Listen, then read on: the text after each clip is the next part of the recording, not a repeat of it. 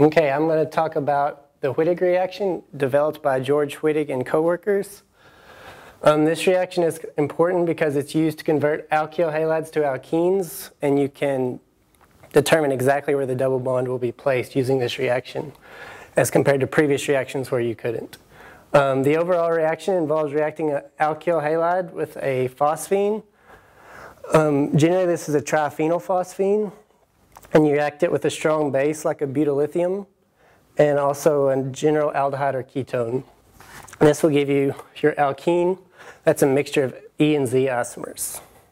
Now for a specific example of the Wittig reaction.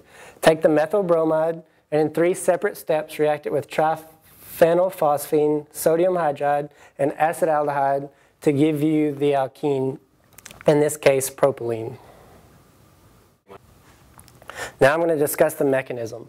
The electrons from your phosphine are going to attack the back side of the carbon via an SN2 reaction and your leaving group's going to leave. This will form the phosphonium halide intermediate. From here, your strong base is going to deprotonate the hydrogen from the phosphonium halide, and this will give your ylide intermediate. Then the electrons from your ylide intermediate attack the carbonyl carbon of your aldehyde or ketone. The electrons come up here to oxygen, and this reacts now you have your betaine, which will undergo sigma bond formation here, and this will react to give you your oxaphosphetane. It will go undergo elimination of the phosphine oxide to give your alkene as a mixture of E and Z isomers.